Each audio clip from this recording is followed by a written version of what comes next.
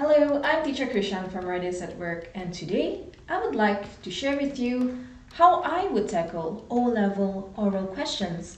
Hopefully can help you prepare for your upcoming oral exams. Now, let's talk about how to answer this 2021 O-level oral question.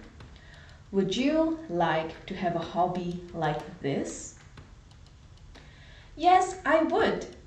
Currently, I have a similar hobby of fish keeping. As an animal lover, I naturally enjoy watching my black full moon betta fish swim around in its tank, which sits on my desk. I find it relaxing while doing work on my desk, especially when I'm stressed out and need to look at something else to de-stress. Somehow, it does not distract me from my work, but brings inspiration to my mind to keep me focused. I would imagine the same sense of peace and relaxation that keeping songbirds can bring.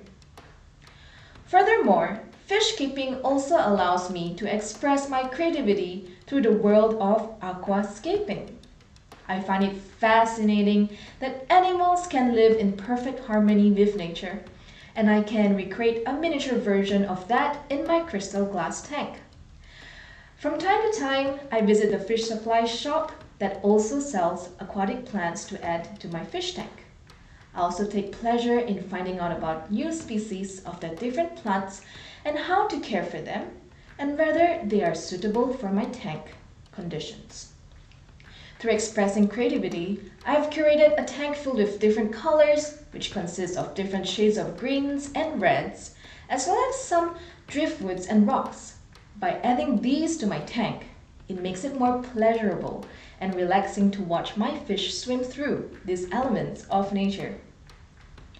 Ultimately, I would definitely try out bird keeping too, as I get to find out more about other animals and how to care for them. Also, I get to immerse myself in the songs that the birds sing when they are in a good mood and can add liveliness to my life. We've come to the end of the video. Remember to incorporate relevant personal experiences in your oral response and that will help you to impress your examiners. Once again, this is teacher Krishan from Writers at Work and I hope my little demo will help you in preparing for your O-level oral exams. All the best. Bye!